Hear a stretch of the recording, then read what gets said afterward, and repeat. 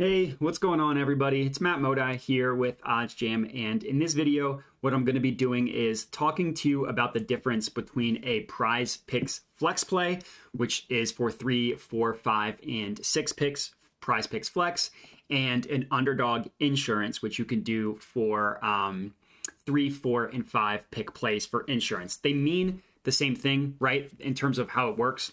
Um, for so for prize picks for underdog, I'm, I'm assuming everybody's aware it's basically like a player prop parlay.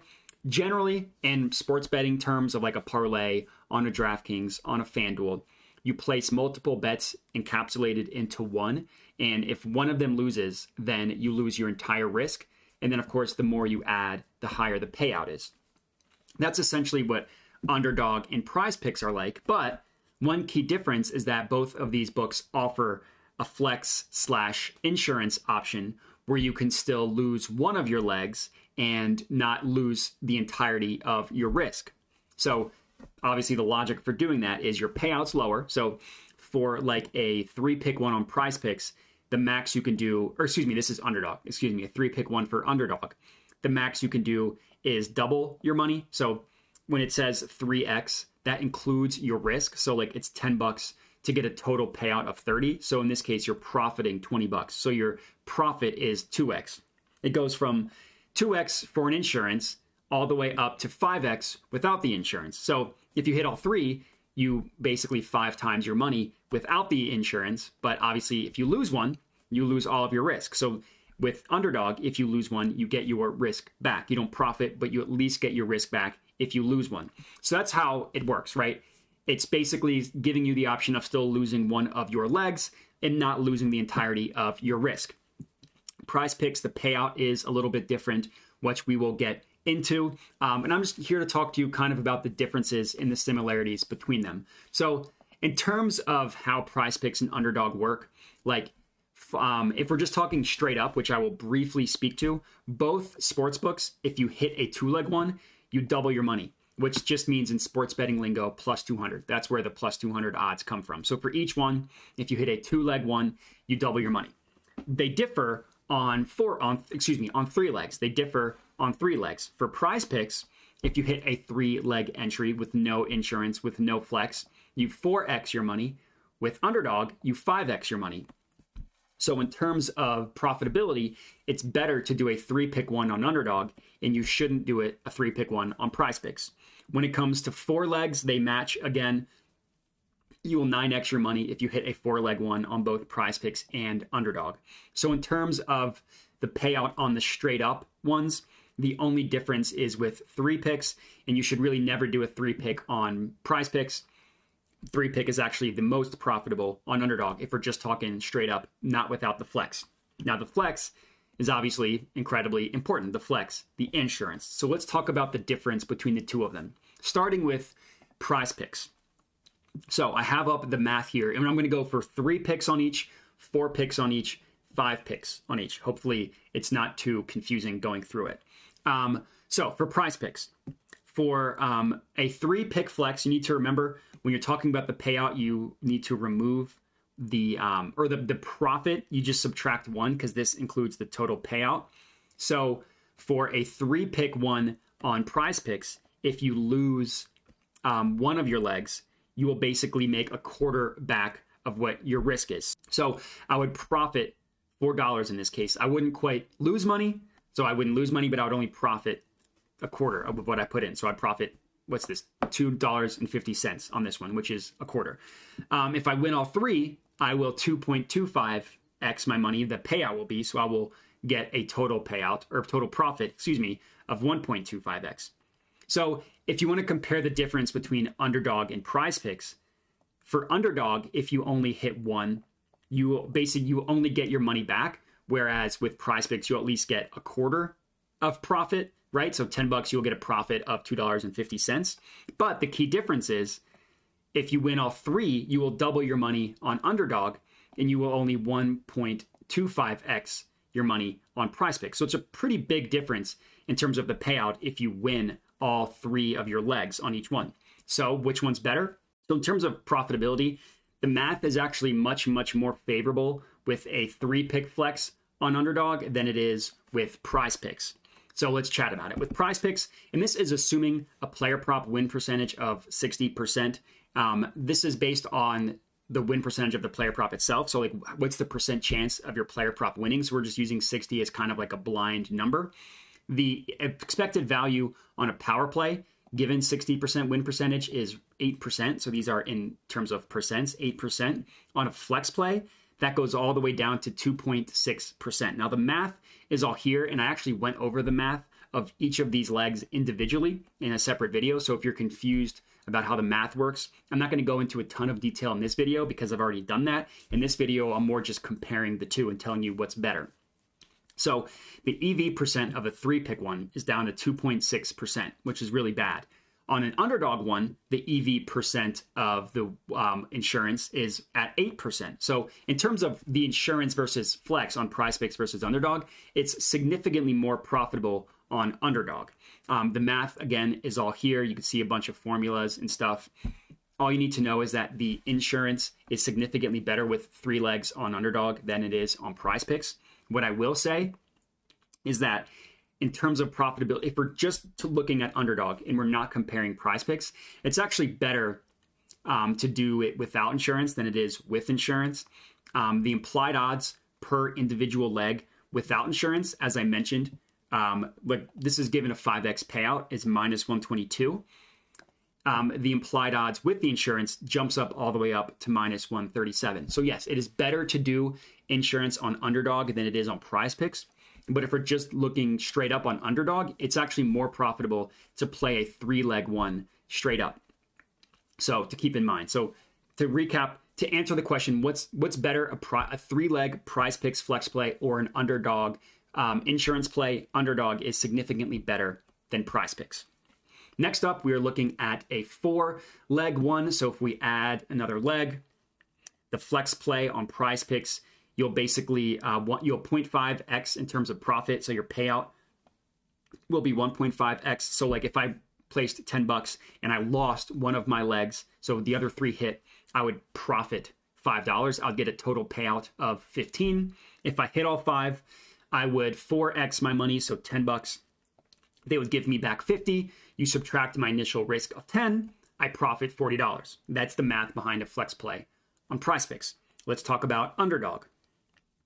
So the payout on a uh, winning three out of four is the exact same 1.5x. So $10 turns into uh, $5 in profit, 15 in payout if you lose one of your legs. But the key key difference here is the payout goes from 6x on underdog. So you're basically 5xing your money in terms of profit. You're risking $10 to get a payout of 60. You're profiting $50. On prize picks, you're only profiting $40. So right off the bat, I don't even need to show you the math because the payout is the exact same if you lose one play, but the payout is significantly excuse me, significantly better if you win all four on underdog. I mean, significantly like like one X of your risk back. That's a pretty big deal over the course of time, right? So on prize picks, you only get a payout of 5x if you hit all of them. On underdog, you get a payout of 6x. So I don't even need to tell you, go through the math of each, of each one. You already know off the bat. In terms of what's better, a four pick flex play on prize picks or a four pick insurance play on underdog, underdog is significantly better. Now, on prize picks, in terms of, let's not compare the two, let's just look at prize picks. If we want to go back on a 60% win percentage, the uh, profitability is actually better on a power play. Like again, if we're assuming 60% win probability, the EV percent is at like just below 30% on straight up. On uh, prize picks, or yeah, on excuse me, on a on a flex play, it's down to 16.64. So it's still better than a three pick one. So it's another example of why you should never do a three pick one.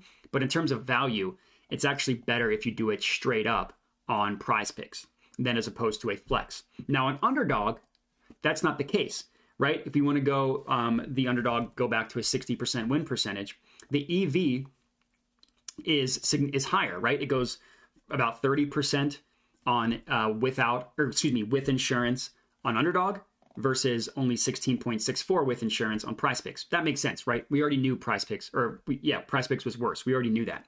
But it's actually better value. And again, I go through the math on this in a previous video, but it's actually better value on underdog to play with insurance than without, right? Like if we go back to the initial sheet, 9xing your money basically means implied odds of an individual leg of minus 128. That actually goes down to minus 122 with a four pick insurance on underdog. So, underdog, it's actually more value, more profitable to do the insurance on four legs when it's not on prize picks.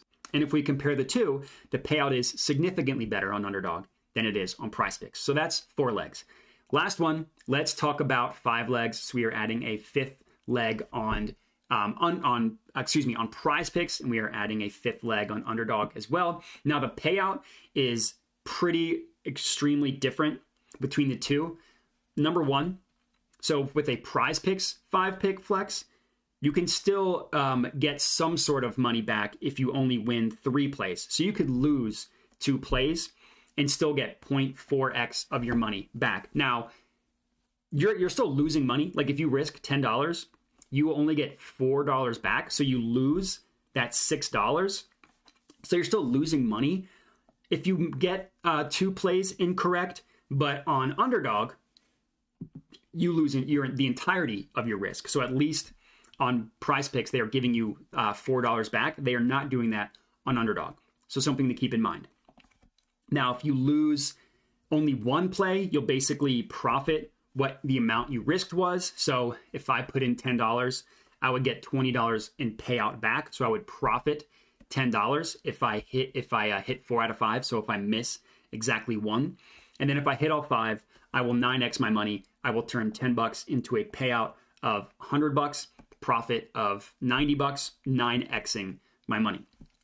In terms of underdog, the payout on a 5 out of 5 is the exact same. If you hit all 5, you uh, get a payout of of 10x you 9 times your money. The difference here obviously is the payout is higher on a um, if you hit 4 out of 5. So if you hit 4 out of 5, you will basically get a payout of 2.5x. So if you risk $10, you get a payout of 25, a profit of 15, Whereas if you miss one leg on prize picks, you're only getting um, your money, you're only profiting 1x, not 1.5x. Now, obviously, in, on, you're getting some sort of money back on, on, on prize picks if you lose two legs. So there's a clear difference there. So in this case, we actually do need to go to the math.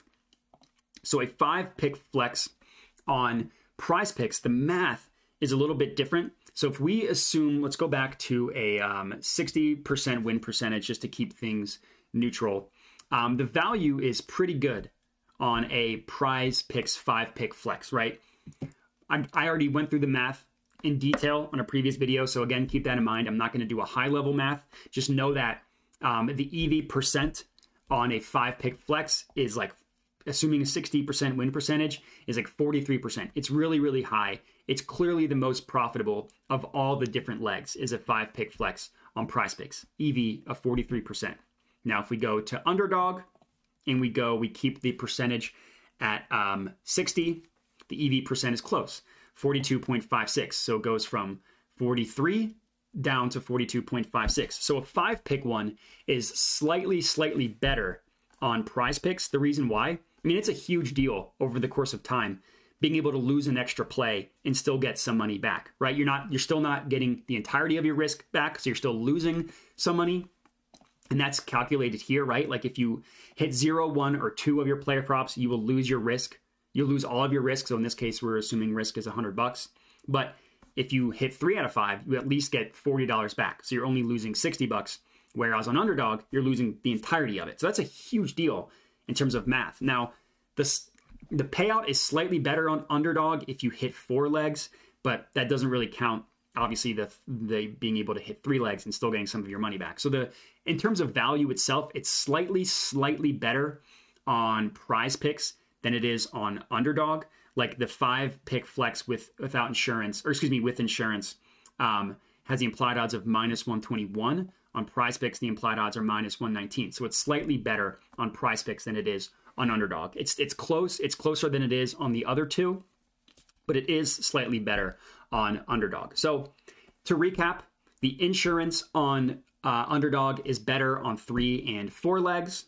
And then on prize picks, the insurance is a little bit better with five legs to kind of sum things up briefly. So hopefully this video made sense. Um, if you have any questions, please do not hesitate to comment and reach out and let us know if you have any questions. But as far as this video goes, that's all I got for you guys. Um, so I appreciate everybody watching and have a good one.